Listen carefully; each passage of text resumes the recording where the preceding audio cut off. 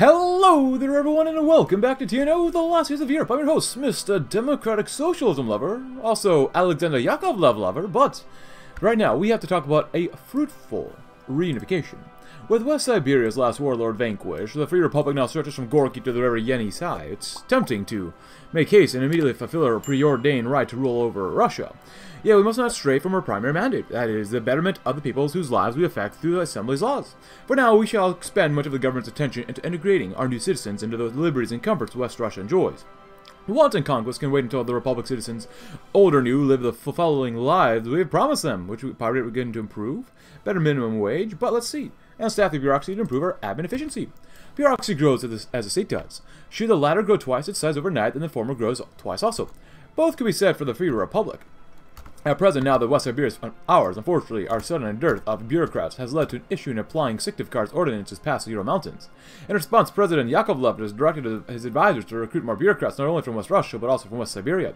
The pencil pushers under our old adversaries' employ shall be great use to their new government soon. Also, unlike most campaigns, we can actually potentially peacefully reunify Russia with the Siberian Republic as long as our uh, receptiveness is high enough. And we're already beginning the final unification talks, and our tension is so bad, or so low, we probably like each other a whole bunch.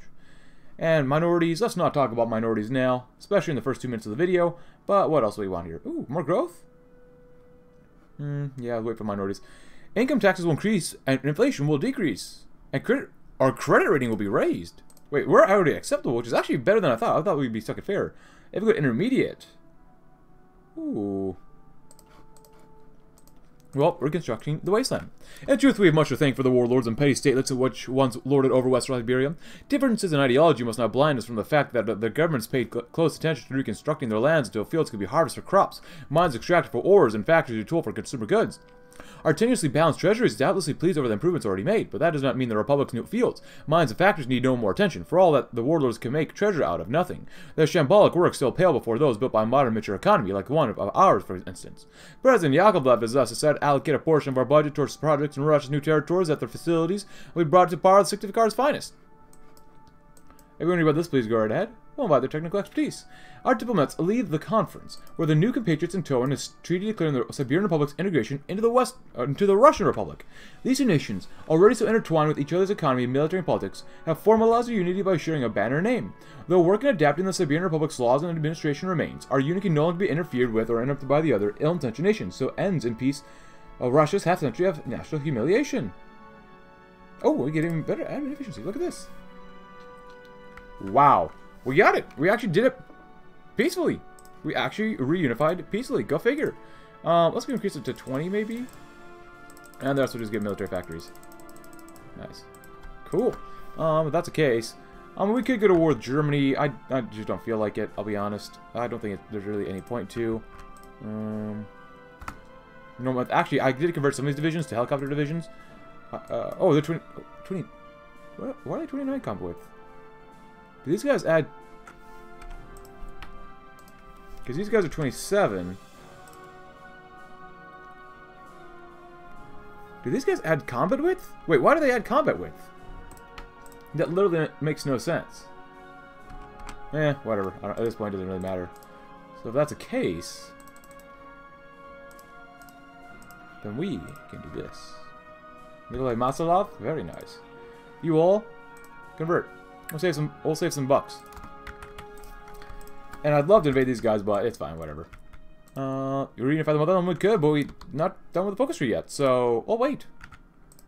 Economically speaking, um, do we need a core anything? If you peacefully reunify, you get cores immediately. That's ridiculously awesome and strong.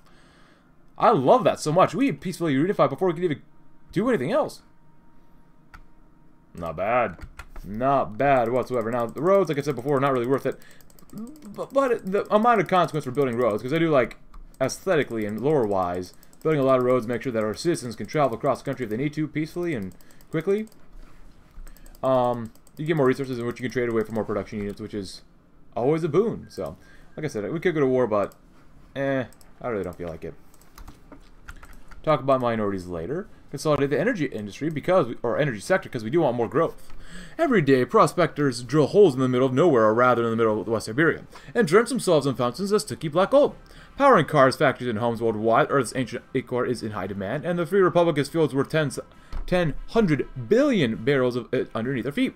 We would be fools not to exploit them for our benefit. The National Assembly has approved a bill establishing Gazprom, a state-owned company that shall soon manage the particulars of exploiting quite possibly Earth's largest oil reserves of crude oil. Oil wells, pipelines, and employees, whatever they need, we shall provide. The revenue they will generate will more than compensate Treasury's losses a thousandfold. Absolutely. Uh, military police, because you can? Because why not? So now, our, eh, that's not too much. Surplus uh, by 8 billion, it just spiked. And it's gone up too, but whatever. It's fine. Whatever, no one cares. Minus 0.5? That's still really strong.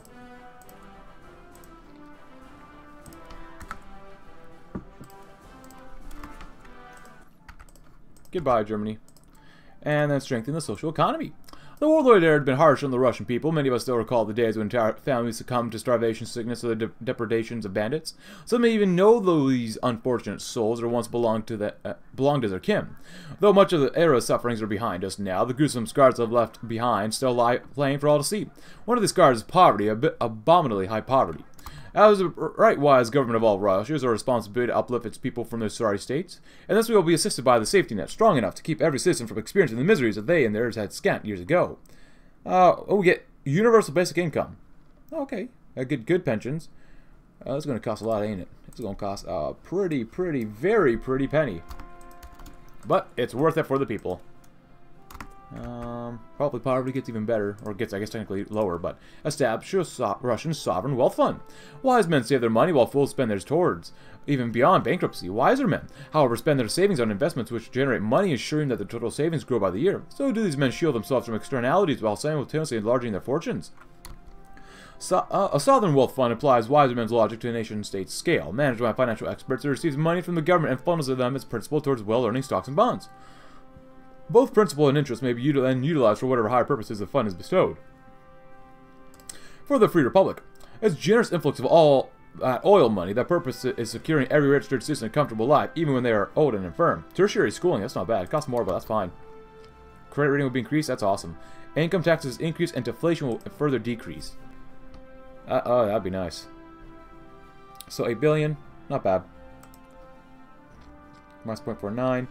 Tertiary schooling. Uh, the next one will be Academic Golden Age, but that's actually really good. Research facilities. I mean, we're already at cutting edge, so we're actually really good. Modern agriculture is actually already the best. Streamlined bureaucracy. It could be, be it could be well-oiled machine, but I'm not going to complain too much about that. Experience industrial base could be innovative, but whatever. Actually, you might actually. Yeah, we're still going to be able to probably get to innovative industry. Wow. Modern industrial equipment. Eh, we didn't get quite there, but that's all right. And then we are on professional army too, so not bad overall. So, oh my goodness. Well, there goes UBI. Yeah, UBI. I mean, that's great for poverty. But now we're running a deficit. And that's a pretty flippin' major deficit. I don't know, man. You might have to cut back on other programs, but... Approaching the dawn. On the outskirts of Syktyvkar, a farmer tests his new tractor in the today's harvest. He reaped more wheat than day that day than a month in his old sickle and trowel. On Ump's gray concrete bunkers explodingly give way to housing complexes with windows, curtains, and balconies, featuring once dismissed for showering for too much enemies, two enemies, showing too much enemies, that can neither be seen nor grasped. In Gorky, the morning air comes alive with searing heat, struck hammers, and steelworkers' song, where the farmers' fathers, city, ugh, city fathers leave. Its sprawling assembly plants are now out to build task building the task building automobiles that common man can afford. Slowly but surely, leisurely but successfully, Russia steps out of its perpetual dust. We will feel sunlight's kiss again. Lessons from the SID plan. History remembers Nikolai Bukharin as a man of many plans but scarce time. His vision for Russia and the proletariat died with Moscow during the Great Patriotic War, and so we can only speculate as specifics. Gosplan nevertheless gave some of its form in the days of the NEP, namely Siberia's man-made transfiguration into an industrial powerhouse, hence the name Siberian Plans After Effects, lay in the winding railroads and teeming industrial zones dotting the region's halves. Much of the megaproject documents, blueprints, manifests, progress reports have survived the Warlord era's complications. We will do the Republic's economy today and tomorrow well by applying the lesson in raw material rich yet industrially poor regions like the Kazan. ensure industrial quality. While specializing regions by the resources they possess does maximize their use to the national economy, it also unevenly distributes the nation's wealth as a consequence. The end result thereof is a nation comprised of two parts, poverty-riddled cornucopias and towering islands of industrial growth, whose services which needs no elaboration. Thus, the Yakovlev administration's economic advisors have drawn plans to build a network of cities and their factories and skyscrapers, from Arkhangelsk to Zatelsk, the Republic, our results shall prove to the world that the Free Republic has no place for unequal societies.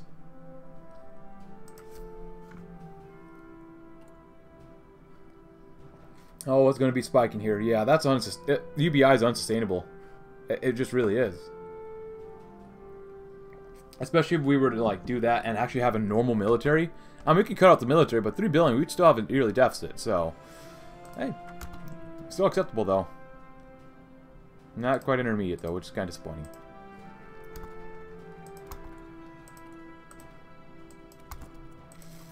A hand to the west. Far beyond the Reich's clutches stand the United States of America. Since its loss in the Second World War, the Western Hemisphere's colossus prevented the Germans and Japanese from exporting their poisonous fascisms to other free countries around the world. Those willing to submit their wills and weather all to the free world's cause join Washington's tight-knit circle of allies, the Organization of Free Nations.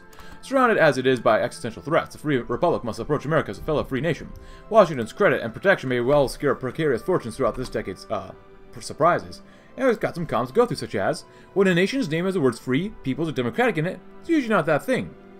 Someone says we should play as Bonachenko or Vasily Chuikov in Thousand Week Reich. And someone says the mod's just not working for him. Uh, the mod loads, but just that all countries start with no military factories, but they still have production units like normal. And someone also says that the devs announced that Nova Polska will be removed someday. So, unfortunate for the Poles. Flying together though. It's been some time since America welcomed us heartily in the free world. Already corporations' fruits have ripened in both ends of the Atlantic. Our Arkhangelsk's tonnage figures have multiplied several magnitudes since, while American industries now partake on Russian materials for the first time in decades. What is it, with what it has offered, our relationship with the superpower seems set in stone. Perhaps now is the right for expanding this relationship further. President Yakovlev has penned a request for the observer status in the OFN in exchange for granting most favored nation status to its members. This we promise. Russia's wealth shall forever be wedded to freedom. More growth, less interest rates, and that's nice and all, but at the current rate we're, we're at, it, it's this is that's not going to be sustainable. Oh, conclusion of the Turkish Kens. In this one, the Legion does a gaming. What? Wait, what? Well, the Kingdom of Spain, Portugal is killing itself. Um, what? Did someone activate Legio, was it 10th, 10th Legion or something? Who's in America? Is it still MTS? It is. National Conservatives, huh?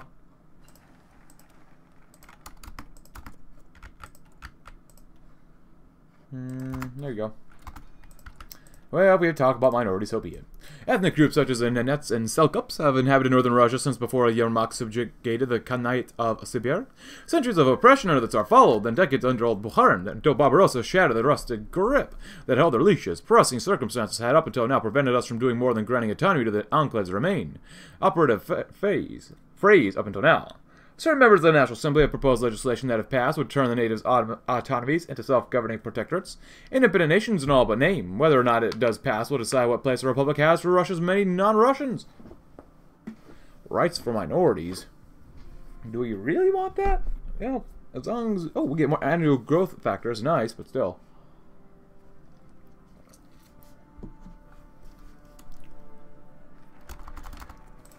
And onwards to the future. Four times have our fellow socialists derided the methods we abide. Four again have the results bade them at peace. Personal liberties, comfortable lives, a voice in government, economy worth calling our own. President Yakovlev has achieved all that he can pro had promised and more. That he had done so while managing the stresses of Reconstruction only amplifies victory's sweet succor. With the people in lockstep behind him, the president seeks a bright future to leave them with. A worthy crown to his party's legacy. And what adornment shines brighter than Russia reunited? Power to begin to rapidly improve? Where are we at? That's not bad, but still. Still not enough to fight the... I mean, we could just slash social spending a whole bunch, so, but... Still. Oh, wait. Oh, we to wait for the other one to get done first. That's right. But no, we don't. No, we should be... We should have access. Yeah. Oh, do we not get that? Oh, oh, here we are. Okay, it's ON Observer. That makes sense. Are you guys killing each other, actually? Uh, oh, Turkish, Turkestan Legion. Rights for minorities. The time has come to answer the important question of minority rights in Russia. The borders of the Republic have long since expanded to encompass a wide range of different peoples, especially in western Siberia. It's argued that a current system for handling minority voices simply isn't adequate enough, and should undergo the wide-ranging and regressive reform. However, more conservative figures believe that minority peoples already enjoy a great deal of rights under our administration, and no further reform is necessary. What should we do? It's good enough. Minorities of Russia deserve to be heard. Sure, why not? For this campaign. Man, we really went with the weakest faction here, didn't we? Uh, actually, they have a higher military score than Germany. Economy's best out of everyone. The Japanese are really ready for war. Uh, they just they just sucked a whole bunch. And their faction really sucks for uh, numbers. Okay. Cross is still ongoing, which is fine. I wish we could. I wish we could still take out Kazakhstan. I'd love to do that again, but not much you can really do about that. 12 billion in deficit, not great, but whatever. Still, minus 0.5 is really nice. Tertiary goal, and we did really well, I would say, in this campaign. Really quite well. Even though in the beginning it was a pain in the butt, and I'm going to take you guys' advice. Just like, use consequence if we have to at this point. Parts of it just, in the beginning, were just too upsetting for me to really want to retry this. Euro guard training is really nice too. Minimum training level, I mean, even though we don't even use well, I guess technically we do use helicopters, but at this point we don't really. Onwards to the future, my friends, and let's reunify Russia. A triumph radio broadcast echoed out of Russia earlier today. It claims that the motherland has been united by the Russian Free Republic. Once plagued by scandals and fighting and extremism, the Russian Free Republic doomed seemed doomed to fail. Now, yeah, democracy stretches from our Arkhangelsk to Kamchatka, which the Republic having overcome uh, the many obstacles in its path to unification. The Republic is currently under administration of the People's Democratic Socialist Party, moderate left-wing faction, led by President Alexander Yakovlev, a former official within the West Russian Revolutionary Front. Many so doubt the Republic's uh, stability, but President Yakovlev has assured his citizens that extremism is no longer a threat to Russia. In the end, there's no doubt that the Russian Free Republic shall not be a major focus for the three global superpowers and the center of the Cold War. Democracy in Russia? Well, that's pretty new.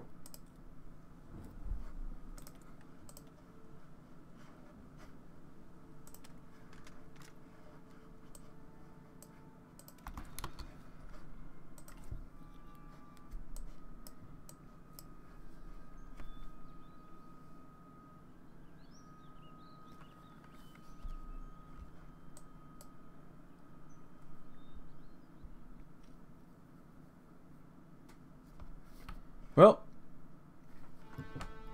if the present were not so horrible and grim, and the future so mysterious and enigmatic, one could go mad, go mad with joy. To better history.